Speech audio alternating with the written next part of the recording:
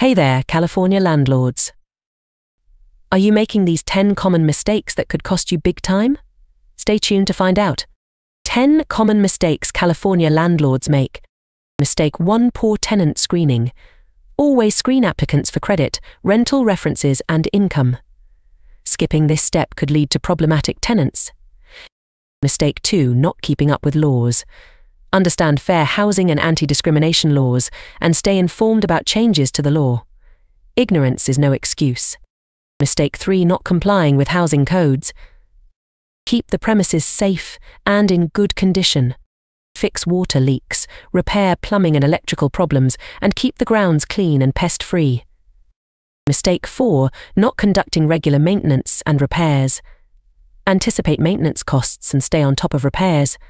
Neglecting this could lead to bigger problems down the line. Mistake 5 Ignoring tenant complaints. Communicate clearly with tenants and respond to their complaints promptly. Failing to do so could lead to legal issues. Mistake 6 Not handling evictions correctly.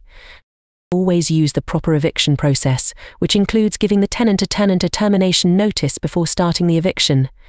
Never rely on self help. Mistake 7 Mismanaging security deposits. Always return security deposits on time and provide an itemized list of deductions. Failing to do so could result in penalties.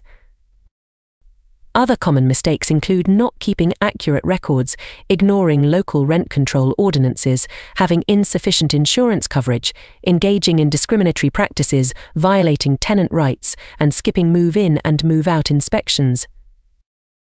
Don't make these costly mistakes. Educate yourself, stay compliant, and protect your investment. Thanks for watching.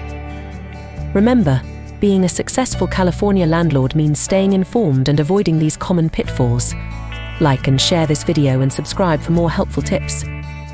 Call now 714